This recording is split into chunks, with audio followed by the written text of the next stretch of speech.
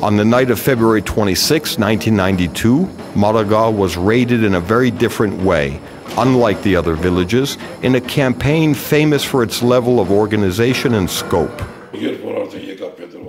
On February 25th, the shelling began, linked to Khojalu events. I was sitting in the headquarters of the defending unit. I was looking at the clock. In a minute, four to six shells were fired onto the village, and it would continue until morning. In the dawn of February 26, the village was attacked. That day, we counterattacked gloriously. They lost over three dozen of people and escaped.